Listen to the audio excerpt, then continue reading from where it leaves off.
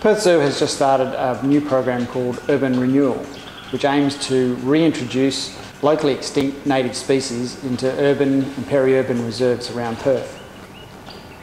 Australia is famous for its marsupials, but most people don't realise we also have a good range of native rodents, the largest of which is the water rat.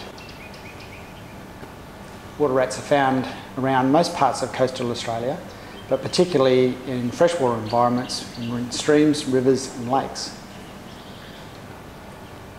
In Western Australia, our water rats are having a hard time due to our reduction in rainfall and the changes in land use in the southwest.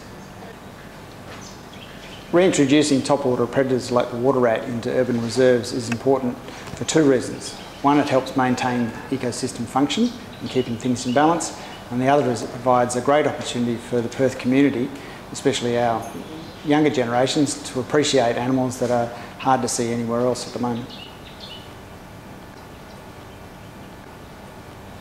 In 2013 and 2014, Perth Zoo was able to reintroduce captive bred water rats into the Australian Wildlife Conservancy's sanctuary at Karakamia and to uh, Whiteman Park, uh, which is managed by the Department of Planning. And already we've had confirmation of successful breeding in the wild from one of those released populations.